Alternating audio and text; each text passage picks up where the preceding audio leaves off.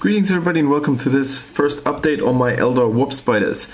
Uh, I think I've I did the can boxing uh, two days ago or so um, and I was so eager and keen on painting those guys up that I just started right away and the first results you get to see here.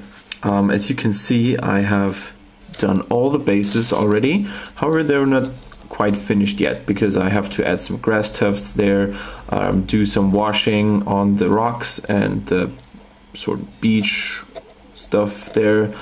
Um, and I started to use um, some water effects.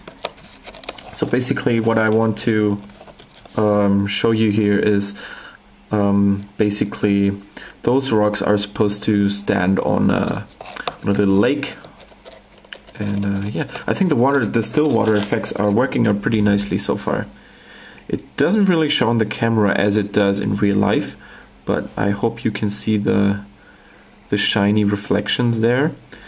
And it said that with those, uh, with that Vallejo, um, with that Vallejo still water effects, you need to apply several layers. And so far, I only applied two layers and they have to dry for 12 to 24 hours so it's qu quite a time consuming process.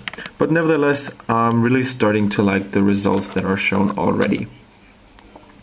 So yeah we have some nice little rocks there with a little bit of beach. And I'm also going to dry brush the beach as well so to make it look uh, even brighter because right now it looks like it's just a too dark brown uh, the contrast is too sharp yeah, and let's get to the first warp spider. Um, it is by no means finished yet. However, I think you can see what I'm aiming for. I want them to look a little bit frosty, as I had uh, a conversation a couple of days ago with Tristan. Um, since he's such a huge warp spiders worshipper, I asked him if he had any input or um, suggestions on a color scheme. And uh, after a while, we came to the conclusion that um, an icy sort of color scheme would look really cool.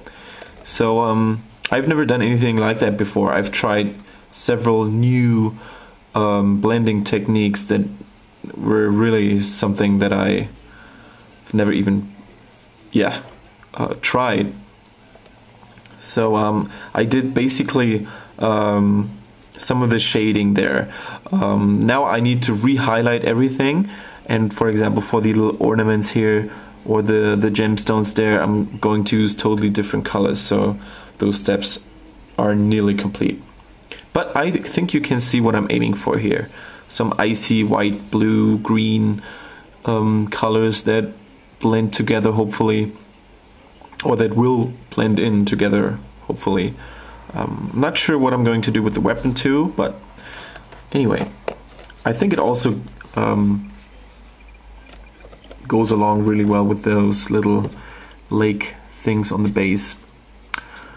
Yeah, so I'm really interested to hear your opinion on it if you have any other suggestions, especially if you've done an icy color theme uh, before. And uh, if you like them, let me know because it keeps me motivated. And but also if you do have some critique or uh, suggestions, feel always free to let me know so I can go on and improve myself.